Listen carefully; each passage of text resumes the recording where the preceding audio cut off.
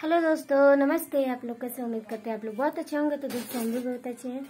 तो यहाँ देखिए शाम को बज रहे हैं आठ और हम जा रहे हैं बनाने पूड़ी सब्ज़ी, खीर। तो खाने का मन किया है खीर पूड़ी सब्ज़ी।